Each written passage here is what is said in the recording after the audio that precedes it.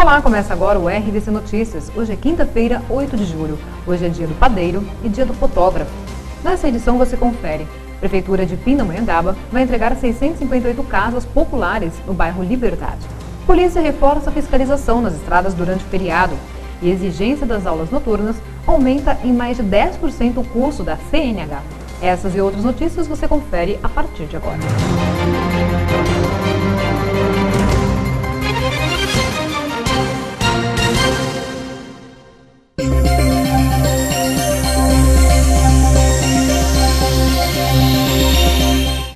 Prefeitura de Pindamonhangaba vai entregar mais 658 casas populares no bairro Liberdade, no distrito de Moreira César, sendo 78 que contemplam a segunda fase do letramento e 580 da terceira fase do conjunto habitacional.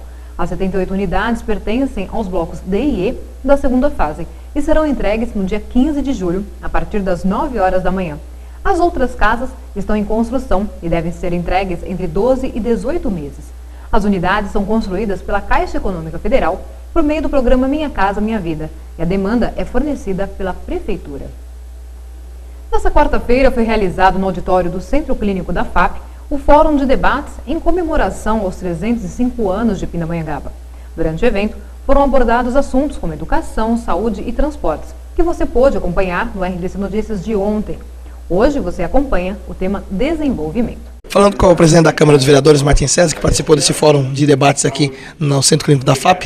Martin, é, qual foi a sua opinião, com o que você achou do debate falando do desenvolvimento da nossa cidade?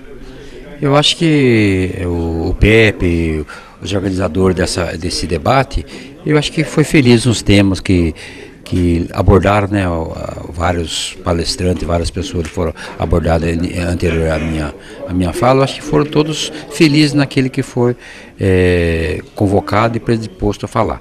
Eu acho que um falou em transporte, outro falou em saúde, outro nós falamos em desenvolvimento, eu acho que todos os, os, que antecederam a gente, inclusive nós mesmos, fomos todos felizes, porque acho que isso é gostoso, porque a nossa cidade, Pindamonhangaba, como eu falei, é uma cidade que tem história, né? Tem história de Jano Pulo, tem história de Mazarope, tem história de Berta, Alma de Melo, né?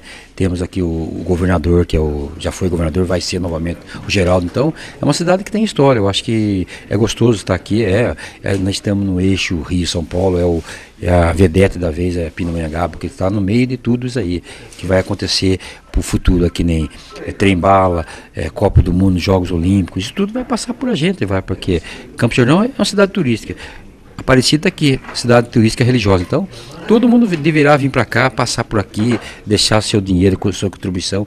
Por isso que tem que envolver um pouco em turismo, em, como o Jorge falou, em, em vários idiomas, em, em, em sinais, né, para pessoas com audição e, e visão, para que a pessoa, a gente preparar para que dê um, um, esse apoio aos, aos turistas que vêm para Pinda.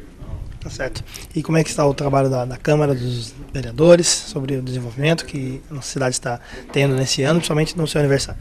A Câmara eu acho que sempre foi parceira, né? Pode ter alguma divergência ou outra, mas isso é, faz parte da política, né? Mas que a gente está sempre de portas abertas, ajudando o prefeito, o executivo, né? Sempre a gente, o que ele pede para a gente aprovar que é de bom para o município, de bom para a população, para aquele bairro, para aquela, aquela região, para aquela rua, a gente faz com o maior prazer, né? Então, eu acho que a cidade está de parabéns pelos seus 305 anos, está em festa semana, né?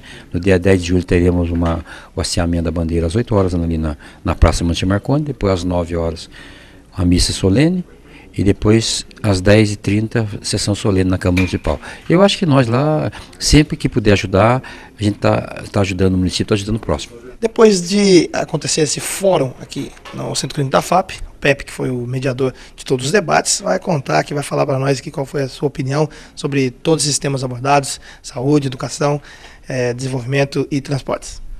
Eu creio que as explanações foram muito boas, tanto por parte dos secretários, quanto a cobrança ou até a apresentação de reivindicações por parte do legislativo, por parte dos vereadores, e também a apresentação daqueles especialistas, exemplo, na área de educação, área de saúde, trânsito, também em termos do desenvolvimento econômico, a participação do presidente da Associação Comercial foi muito importante. Ele fez uma explanação muito interessante sobre a questão da capacitação Muitos uh, reclamam que não têm um emprego, não conseguem trabalhar, mas esquece de se qualificar para o mercado de trabalho. Ele deu dois exemplos assim fantásticos: a Copa do Mundo, que na próxima edição realiza no Brasil, também Olimpíadas. Muita gente fala, ah, mas é em São Paulo, é no Rio de Janeiro, mas Pinda está integrado. Então, tem esse, essa necessidade muito grande da questão da qualificação. Eu creio que, de uma forma geral, foi muito uh, bem assim explicado esses, problema, esses problemas e também estas possíveis soluções dentro de cada uma dessas áreas, seja saúde, transporte, educação e desenvolvimento. E esperamos ter contribuído aí para a informação à nossa população, a informação aos nossos ouvintes e, quem sabe, aí transformar a cidade ainda melhor. Tá certo. Agradecendo ao Pepe e parabéns pela rede difusora por promover, promover esse debate na manhã desse aniversário de Pindamonhangaba. Eu só tenho a agradecer principalmente essa parceria com a FAP e com a FUNVIC, através da pessoa do Dr. Luiz Otávio Palhares, diretor-geral, ele que desde o primeiro momento abraçou a ideia da realização desse fórum e inclusive cedendo o espaço aqui do Auditório Centro para a realização do evento. Um grande abraço a todos. Após seis meses consecutivos de alta, de novembro de 2009 até abril de 2010, o valor da cesta básica apresentou em junho o segundo mês de queda, com um índice de 0,17% negativo em relação ao custo de maio. Os números foram obtidos pelo NUPS, que é o Núcleo de Pesquisas Econômicos Sociais. Uma cesta básica familiar custa, em média, R$ 885,75 em Taubaté. Campos Jordão continua sendo a cidade do Vale do Paraíba que tem o menor custo da cesta básica, e São José apresentou o maior valor. A diferença da variação entre as cidades diminuiu de 4,09% no mês de maio para 3,86% no mês de junho de 2010. Coleiro Bruno se entrega à polícia. As informações com João Carlos. Ok, amigos, juntos para falar de esportes aqui no RVC Notícias. Primeiramente, em relação ao esporte do Vale do Paraíba. O Guaratinguetá, que disputa a Série B do Campeonato Brasileiro, passa a contar novamente com o Diego Doné, o atacante que levou um chute no jogo contra o Vila Nova pela Série B do Brasileiro. O zagueiro foi tentar tirar a bola, acertou a cabeça do atacante do Guaratinguetá, claro, involuntariamente, mas ele teve problemas no maxilar e fez cirurgias e já está voltando aos treinamentos, deverá ser reforço para a sequência do Brasileiro da Série B. Em relação aos times do futebol paulista que disputam o campeonato da Série A, a série principal do Campeonato Brasileiro, no Palmeiras a novidade é o Tinga, volante que estava na Ponte Preta, foi contratado e essa parceria não envolve a Traffic e nem mesmo a Parmalat que está voltando à Cidade Esportiva Palmeiras. Quando se fala em Tinga, lembra-se do Elias, volante bom de bola, que hoje defende aí as cores do Corinthians com Luiz Felipe Scolari, que não deve ir à seleção brasileira, não deve comandar a seleção. O Palmeiras tem Kleber, que já veio, Tadeu, centroavante, e agora aparece aí o Tinga como terceira contratação da era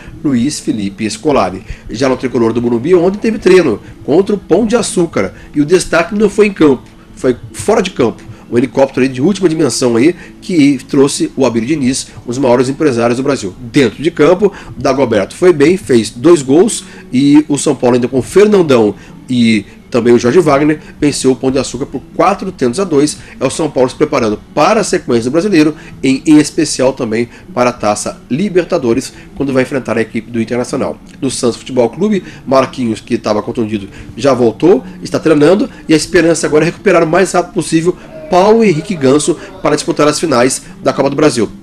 Ganso fez uma atroscopia, ficou fora do Santos, não está jogando ainda. Para o brasileiro não volta, mas para a final da Copa do Brasil deverá ser a grande novidade do Santos Futebol Clube. No Corinthians, problema é o goleiro Felipe. Não foi para a Itália, não tem mais nenhum time interessado e já deixou claro que não quer jogar no Corinthians. Então por isso a situação dele é complicada e o Corinthians vive aí, já contratou um novo goleiro do Paraguai. E agora, o que fazer com o goleiro Felipe. O Corinthians está aberto aí a receber novas propostas. Por falar em goleiro, o principal assunto da semana é, aqui em todo o Brasil envolve o goleiro Bruno do Flamengo, que foi preso ontem num caso aí policial, não é nem um caso na área esportiva, é um caso policial por ter assassinado aí, praticamente está envolvido no assassinato da sua é, ex-amante. Com esse caso, o Flamengo soltou uma nota rescindiu o contrato do goleiro Bruno, não é mais goleiro do Flamengo e ele vai ter sérios problemas agora com a justiça. Essa é a nota negativa do mundo esportivo. Nós falamos de esportes, mas eu volto daqui a pouquinho